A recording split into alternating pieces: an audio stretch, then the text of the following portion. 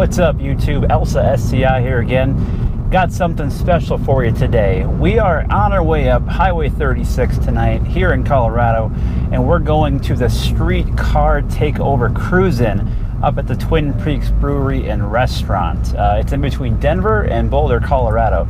Uh, Streetcar Takeover is kind of a nationwide roaming kind of car meet and track day there's going to be a lot of cars out there tonight. Going to be a lot of cool cars. Going to be a dyno out there tonight in the parking lot of the brewery. Uh, so I know there's going to be some cars running, seeing what the horsepower is. So it should be a fun night. So uh, I'm going to bring you some cool videos, check out some rides, maybe interview a couple of people. Let's check it out and see what's going on at the Denver Streetcar Takeover. Let's do it.